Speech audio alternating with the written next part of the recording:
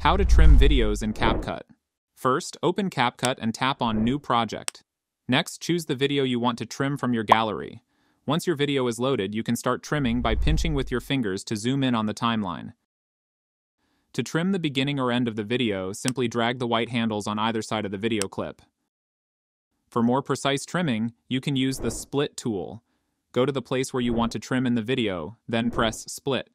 Then, choose the other end from where you want to trim. Then, click on Split. Now, you can select the unwanted part of the video and hit Delete. Let's say you want to trim the last half of your video. Move the playhead to the point where you want to trim, press split, and then delete the unwanted section. Once you're done trimming, review your video to make sure it looks good.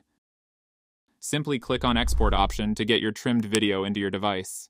And that's it.